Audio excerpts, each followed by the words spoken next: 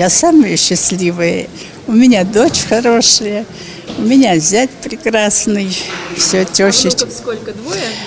А Внучка и внук, а правнучки две. Сложно представить, сколько довелось пережить этой улыбчивой женщине. Когда началась война, Раисе Прохоровне было два с половиной года. Вместе с мамой она оказалась в лагере в Белоруссии. Признается, выжить удалось с Божьей помощью. В таких условиях были. Очень много детей умерло.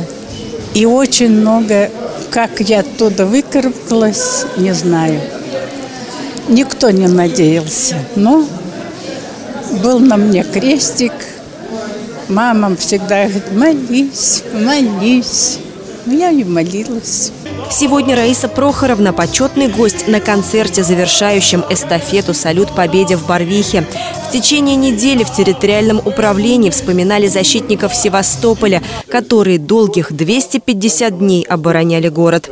Организаторы говорят, такие мероприятия – то малое, что мы можем сделать в память о настоящих героях. 75 лет, память не угасает. Вы знаете, наоборот, так сказать, вот эти все мероприятия, как и бессмертный полк, э, вот эти движения нарастают. А это значит, идет э, нарастание любви к родине, это воспитание ист- истинных патриотов э, России, вот нашей молодежи. Символы шестого этапа эстафеты, копия знамени Победы, самозарядная винтовка СВТ-40 и ящик для переноски мин всю неделю бережно хранились в Барвихе.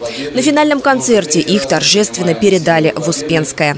Такие мероприятия очень важны для двух территорий. Это еще раз мы напоминаем и отдаем дань уважения нашим ветеранам, участникам боевых действий. И наши жители с огромным интересом э, наблюдают за эстафетой, как она шествует по всему городскому округу. С этого года эстафета «Салют Победе» вышла за границы Одинцовского округа. К проекту присоединилась РУЗа. Именно туда символы патриотической акции отправятся из Успенского. Евгения Августина, Станислав Трифонов, телекомпания «Одинцова».